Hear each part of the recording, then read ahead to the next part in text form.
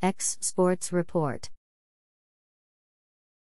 As first impressions go, that performance hit the bull's eye, creating optimism that maybe this convergence of new coordinator, new scheme, new personnel, and return of Danielle Hunter would be the remedy for a unit that sabotaged the 2021 season.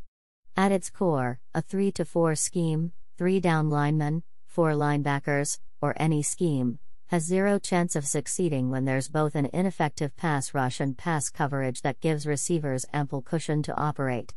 The time honored football credo is that rush and coverage work hand in hand. Quarterbacks are getting too much time to find receivers, which is being aided by soft coverage in the secondary,